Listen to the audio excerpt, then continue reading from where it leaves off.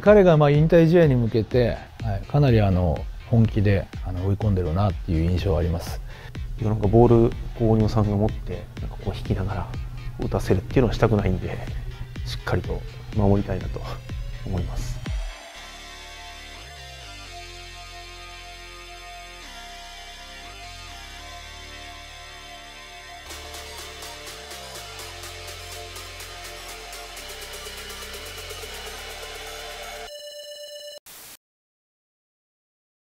オファーに関しては頼むよしか言われてないんで、はい、え？っつって俺プレーするの？っていうところから始まりましたんで。実は最初の、まあ、引退セレモニーこういう形っていうのが2年前もう半年前ぐらいからその時はオファーをいただいたんでとにかく体作れるだけ作ってって言われたんで2年前に1回体作ったんですよね。半年かけて。それがまたこの2年後にこういう形でまた再度体作ってねでしたけど、まあ、2年前のことを思うとかなり体も悲鳴を上げたし、まあ、大変だったなっていうのがあったので今回は一生懸命というよりはできる限り、はい、体を作ろうと思いましたしいやちゃんとねそこに横田さんからメールでバーンって入ってきただけなんでまだやんのかって感じでしたけどね2シーズンまたいで。やりたいんだな森本さん。これだけはどうしてもやりたいんだなっていう感じを受けましたね。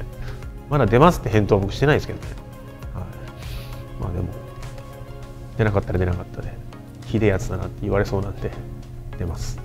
はい。織物ショット。来ました。に乗せます北海道。外れてリバウンドを回収したのは櫻井そして織物スリーポイント決まる。すごい。まあスリーポイントが一番の織茂さんといえばっていう代名詞だと思うんですけどもただやっぱそのスリーポイントが得意な選手だけで言ったらまあ腐るほどそんな選手はいると思うんでやっぱりそこに持っていくまでのオフボールというかボールを持ってない動きですね。スクリーンを使う動きだったりとかディフェンスとの駆け引きとかそういう部分が飛び抜けてうまかったかなと僕は見てて思いますね。スピードがないんですけど駆け引きとタイミングとかあとずる賢さですね。そういう部分が飛び抜けていいなっていうのは感じたので。勝ちにこだわる、うん、そのためにやっぱ自分ができることっていうものに関してまあ本当に最大限発揮してくると言いますか。僕はもうずっと対戦相手でかなり苦しめられたんですけど。日本代表で一緒にプレーしている時は逆に心強い。彼にこのタイミングでこういうパスを渡しておけばほぼほぼ100%点数につなげてくれるなっていうそういう心強い存在でもありました。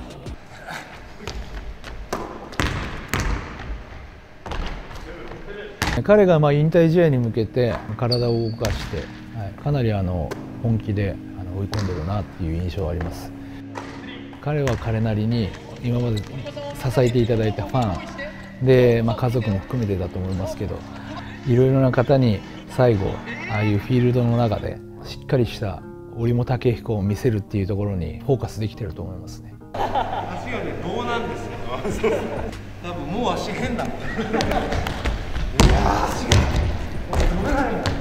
足りないと思います。追い込み方が正直。はい。ダメです。シュートを打ってなんかランニングしてるぐらいじゃダメです。もっとやってほしいと思います。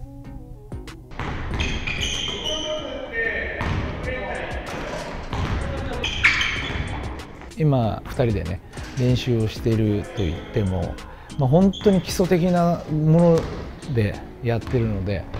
実際多分織茂も自分もですけど自分がバスケットをしてるイメージっていうのはまだまだできてないんじゃないかなっていう段階だと思います。対戦相手ってなるんであればなんかボール大仁さんが持ってなんかこう引きながら打たせるっていうのはしたくないんでそこはもう申し訳ないですけどしっかりと守りたいなと思いますファンの人はどう思うか分かんないですけど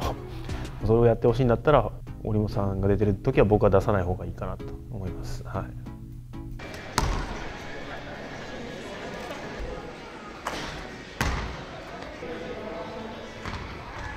彼の思いここにしっかり自分が応えられるように最低限の準備はしてですね何らかのやっぱ花を添えてあげることができればなっていうところで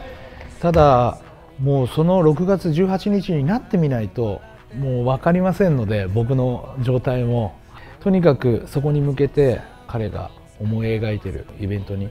少しでも尽力できるように。やる気はあの100%あるんですけどそこにしっかり体がついていくように今全力で準備したいと思ってます。この引退試合でこういうメンツがバッと集まるっていうすごいことだなって多分そういう人ってあんまり今までいなかったでしょうしそれを望む人もあんまりいなかったと思うので、まあ、そこも含めて折茂さんだなと思うんですけどまあでもなかなかやろうと思ってもできないイベントだと思うのでそこに僕も関われるっていうのは光栄だと思いますしやっぱり見てる人もやってる人も楽しめる折茂さんの引退試合にしていきたいなと思うので役割を少しでも担えればいいかなと思います。